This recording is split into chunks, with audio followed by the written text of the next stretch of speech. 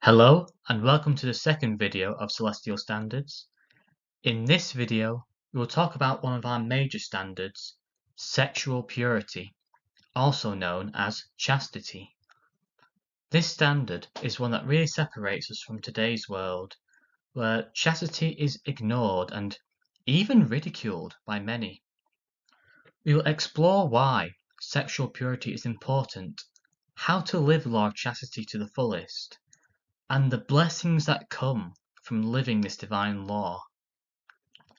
And just a word of caution to anyone watching with younger ones, this video might go a bit deep. So let's start with the big question of why is chastity important? Well, in order to really understand the importance of chastity, we first need to understand its sister law, which is God's law of families. This is perhaps best contained in the Family Proclamation, which states We, the First Presidency and the Council of the Twelve Apostles of the Church of Jesus Christ of Latter day Saints, solemnly proclaim that marriage between a man and a woman is ordained of God and that the family is central to the Creator's plan for the eternal destiny of His children. The proclamation also states We further declare that God has commanded that the sacred powers of procreation are to be employed only between man and woman, lawfully wedded as husband and wife. From this, we immediately see that the reason why chastity is, import, is so important is because family is central to the plan of salvation. And if procreation is misused, it violates God's plan for these families and in turn can lead to difficulty in the upbringing of an individual's life. It also shows deep disrespect to the sacred powers of procreation which God has entrusted us with. For the Strength of Youth, a guide for making choices, gives further insight into the importance of sexual purity. It states, Sexual feelings are an important part of God's plan to create happy marriages and eternal families. These feelings are not sinful, they are sacred. Because sexual feelings are so sacred and so powerful, God has given you His law of chastity to prepare you to use these feelings as He intends. The law of chastity states that God approves of sexual activity only between a man and a woman who are married.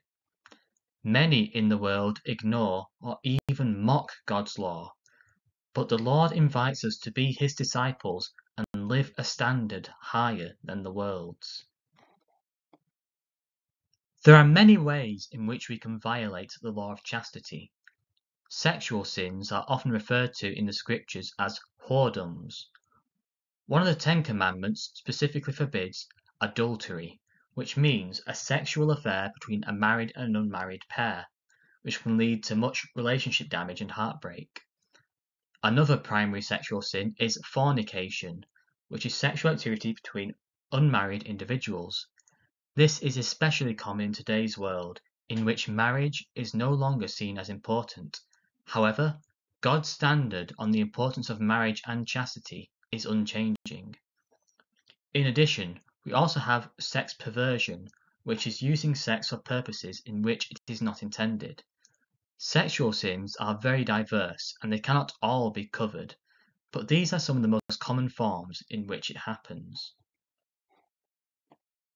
All the scriptures condemn sexual sin, but the Book of Mormon perhaps states most clearly the seriousness of these sins. The prophet Alma said to his son Corianton, who had committed a sexual sin, Know ye not that that these things are an abomination in the sight of the Lord? Yea, the most abominable above all sins, save it be the shedding of innocent blood, or denying of the Holy Ghost. The prophet Jacob also emphasized the importance of chastity to the Nephites and stated, Woe unto those who commit whoredoms, for they shall be thrust down to hell. Even today, our living prophet, Russell M. Nelson, also emphasizes the importance of chastity. He said in a recent conference address Many of the adversary's most relentless temptations involve violations of moral purity. The power to create life is the one privilege of godhood that Heavenly Father allows his mortal children to exercise. Thus, God set clear guidelines for the use of this living divine power. Physical intimacy is only for a man and woman who are married to each other. Much of the world does not believe this, but public opinion is not the arbiter of truth. The Lord has declared that no unchaste person will attain the celestial kingdom. So, when you make decisions regarding morality, please think celestial. And if you have been unchaste, I plead with you to repent. Come unto Christ and receive his promise of complete forgiveness as you fully repent of your sins. Even though sexual sins are serious, it is still perfectly possible to truly repent from them through the atonement of Jesus Christ. However, the law of chastity requires more than simply refraining from sexual sins. Jesus Christ said, Ye have heard that it was said by them of old time, Thou shalt not commit adultery.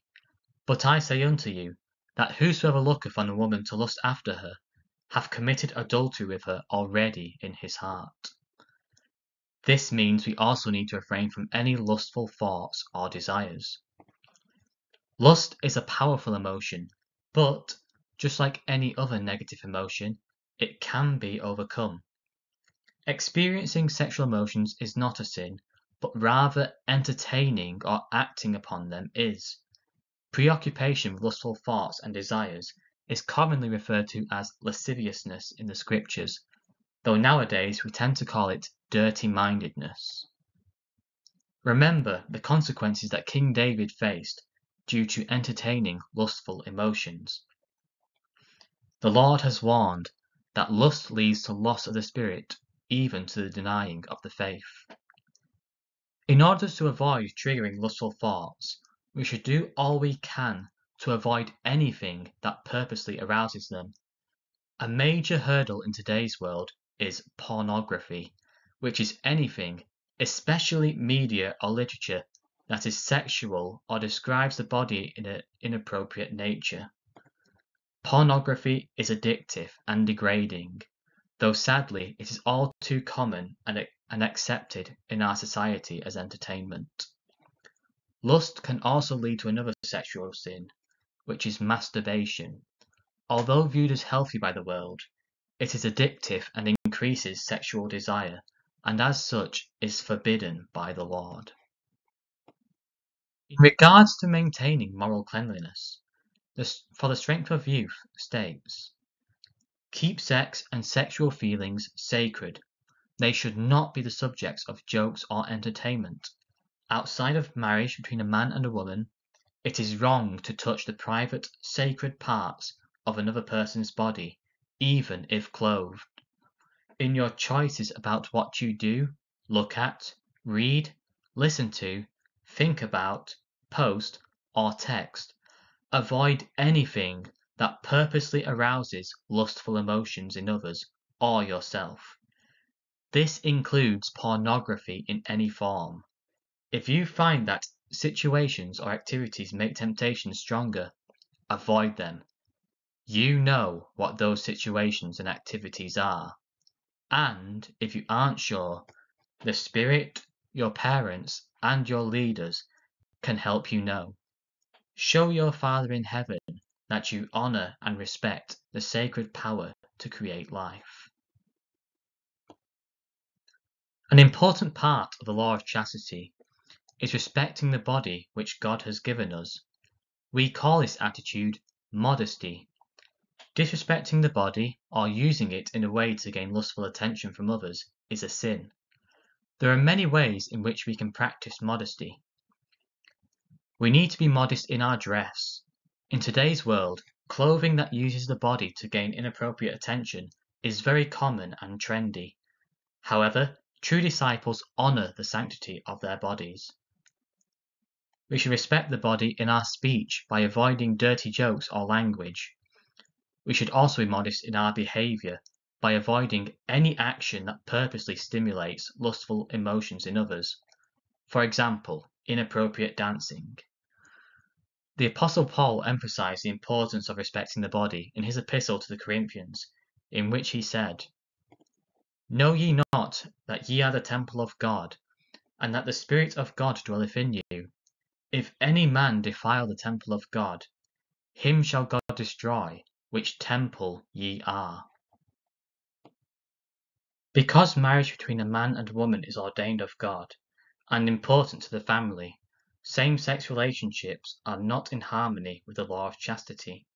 However, those who experience same-sex attraction and do not act on them are not guilty of sin. For the Strength of Youth states, feeling same-sex attraction is not a sin.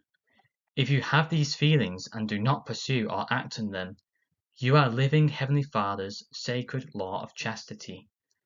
You are a beloved child of God and a disciple of Jesus Christ. Remember that the Saviour understands everything you experience. Through your covenant connection with Him, you will find strength to obey God's commandments and receive the blessings He promises. Trust Him and His gospel. Sexual abuse of others is a tragic sin and is often caused by individuals who immerse themselves in all manner of lasciviousness. However, victims of such behavior are not guilty or accountable because they have not misused their agency. For the Strength of Youth clarifies this, saying, Being a victim of any abuse or assault does not make you guilty of sin. Please, do not feel guilt or shame. The Saviour loves you. He wants to help you heal you, and give you peace. Professional counselors, your family members, and your leaders can also help. Beautiful blessings are bestowed upon those who live God's law of chastity in its fullness. For the Strength of Youth explains Living love chastity brings God's approval and personal spiritual power. When you are married, this law will bring greater love, trust, and unity to your marriage. Obeying this law will make it possible for you to progress eternally and become more like your Heavenly Father. Your confidence will grow as you live as a disciple of Jesus Christ. I have definitely felt these blessings as I have strived to be sexually pure. I have often noticed that chaste relationships, not founded upon lust, are happy and lasting relationships, whereas those which are founded upon lust crumble just like a house built on a sandy foundation. Being sexually pure is an essential part of being temple worthy. One Temple Recommend question directly asks the Lord has said that all things are to be done in cleanliness before Him. Do you strive for moral cleanliness in your thoughts and behavior? Do you obey the law of chastity? Living the law of chastity is especially important for a temple recommend, since we specifically covenant to obey it in the temple. Sadly, the world today tramples the law of chastity under its feet very few live chaste lives, and many indulge in all kinds of immorality and whoredoms, delighting in lust and calling chastity bondage or even politically incorrect. Many even try to fight against this gospel principle. However, those who live clean and chaste lives in a filthy and unchaste world will have access to power from heaven and are given this promise. And if you keep my commandments and endure to the end, you shall have eternal life, which gift is the greatest of all the gifts of God. May we all have the courage to be valiant in the testimony of Christ, in defending truth and chastity, and honoring and sustaining the family. This is my witness. In the name of Jesus Christ. Amen.